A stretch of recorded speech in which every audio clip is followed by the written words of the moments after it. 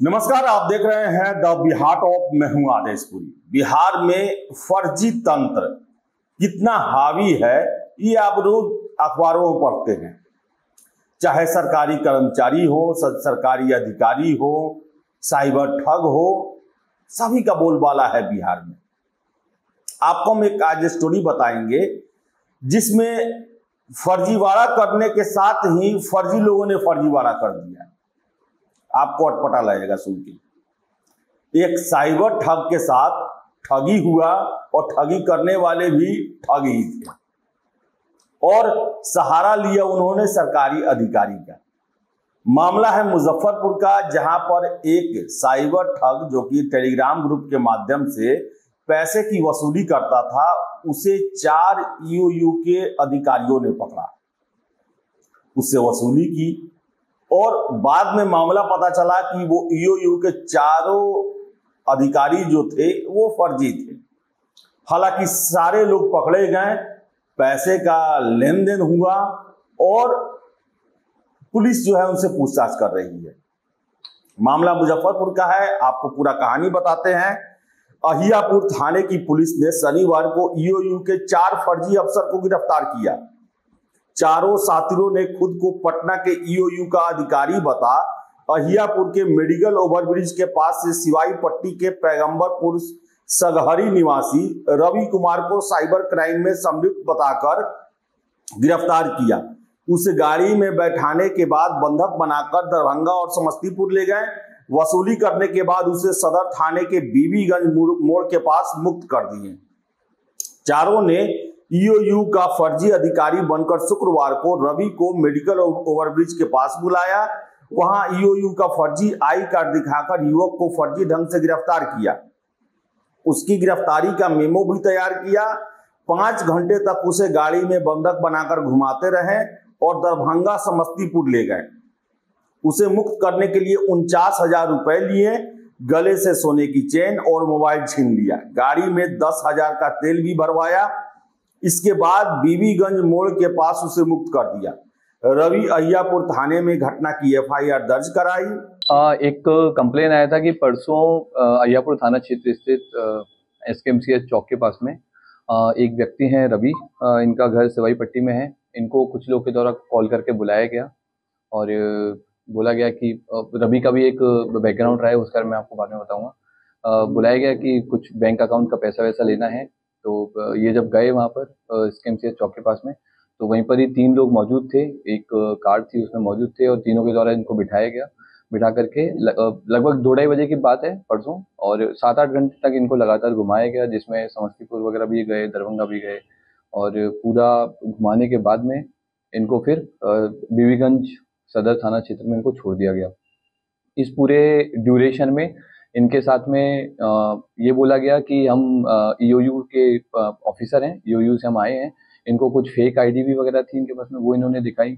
और बोला गया कि तुम साइबर क्रिमिनल हो साइबर का अपराध करते हो उसके लिए हमने तुमको अरेस्ट करने आए तो प्रॉपर इन्होंने अरेस्ट मेमो उसका बनाया, ताकि वो भी विश्वास में आ गया था कि हाँ ये साइबर पुलिस है।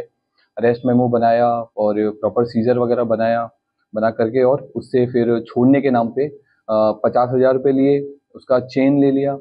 और जो तेल, गाड़ी में तेल वगैरह भी उन लोगों ने दस हज़ार तक का डलवाया। तो हम लोगों ने इसमें कांड की गंभीरता को देखते हुए और एफआईआर दर्ज की। एफआईआर दर्ज करके हम लोगों ने चौबीस घंटे के अंदर तीनों लोगों की अरेस्टिंग किया जो तीनों मौजूद थे और जिस व्यक्ति के द्वारा गाड़ी दी गई, उसको भी हम लोगों ने गिरफ्तारी किया, गाड़ी हम लोगों ने बरामद की है। और ये जो चेन छीना था, वो हम लोगों ने बरामद किया है और इन लोगों के फ़ोन भी हम लोगों ने बरामद किया पीड़ित को कैसे पता चला कि फेक है क्या? पीड़ित को कैसे पता चला पीड़ित को पता ऐसे चला कि जब उन्होंने पैसा लिया ज़बरदस्ती अकाउंट में पैसा डलवाया इन्होंने gaming app sorry betting app में इन्होंने पैसा डलवाया था रेडी अन्ना करके एक ऐप है उसमें उन्होंने पैसा डलवाया था तब पीड़ित को डाउट हुआ था। वैसे तो पीड़ित खुद भी इस जो साइबर अपराध वाली गैंग है उसमें जुड़ा हुआ है और ये खुद भी टेलीग्राम पे एक वो चलाता है सिटी एसपी अवधेश दीक्षित ने बताया कि मामले में गाय घाट के पूरा निवासी विनायक कुमार, बाघा खाल निवासी अभिनव कुमार और आई के मटियानी निवासी शुभम कुमार और अहियापुर के अखाड़ा घाट नाजिरपुर निवासी आदर्श कुमार को गिरफ़्तार किया गया है। ये चारों ने खुद को ईओयू का अधिकारी बताकर रवि को फर्जी ढंग से गिरफ़्तार किया था। उनके पास से रवि से छीनी गई सोने की चेन, वारदात में इस्तेमाल की गई गाड़ी जब्त की गई। सिटी एसपी ने बताया कि वादी जो रवि है, वो भी साइबर अपराध में संलिप्त है। वह टेलीग्राम पर ग्रुप बनाकर ठगी करता है। बेतिया के साइबर साथियों के गिरोह से जुड़ा है। उसके संबंध में अलग से जाँच चल रही है। रवि ने फर्जी ईओयू के अधिकारियों को रुपए देने के लिए अपने साथियों को कॉल किया। इस तरह उसके साथियों ने उनचास हज़ार रुपए भेजे। तब चारों साथियों ने रवि को मोबाइल को ले लिया और उसके मोबाइल से अलग अलग खाते में रुपए स्थानांतरित कर दिया। चारों गिरफ़्तार साथी साइबर क्राइम के लिए छात्रों को झांसा देकर उनका बैंक खाता भाड़े पर लेते थे। छात्रवृत्ति देने का झांसा देकर लिए गए खाते में साइबर क्राइम से ठगी की राशि मंगवाते थे। तो ये मामला है। बिहार में न जाने क्या क्या हो रहा है। साइबर ठग भी बिहार में सुरक्षित नहीं है, क्योंकि उनके भी बाप जो हैं, वो यहाँ घूम रहे हैं। अब देखिए, रवि जो है, वो टेलीग्राम से साइबर ठगी करता है। और उसको इसी ठगी के लिए, गिरफ़्तार करने के लिए ईओयू के चार फर्जी अधिकारी आते हैं। उसे किडनैप करते हैं, उससे खाते में राशि मंगवाते हैं और उसको छात्रों के द्वारा, छात्रवृत्ति के नाम पर भाड़े पर बैंक खाता लिया गया है, उस पर पैसा जमा करवाते हैं और छोड़ देते हैं। और सभी के सभी पकड़े भी जाते हैं। तो न जाने बिहार में क्या क्या चल रहा है। ईओयू के फर्जी अधिकारी, सीबीआई के फर्जी अधिकारी, फर्जी डीएसपी, फर्जी आईपीएस, न जाने फर्जी कितने दरोगा ईडी के भी फर्जी पकड़े जा चुके हैं यहाँ पर। तो साइबर ठगों को भी बच के रहने की ज़रूरत है। उन्हें मैं ये सलाह दूँगा कि वो भी जो है किसी के चक्कर में ना आए। तो अजब लीला है बिहार में। और चारों लोग पकड़े गए हैं, मामले की जाँच चल रही है। तो फ़िलहाल इस वीडियो में इतना ही। वीडियो पसंद आए, लाइक, शेयर करें हमारे चैनल। द बिहार टॉप को सब्सक्राइब ज़रूर कर लें। धन्यवाद।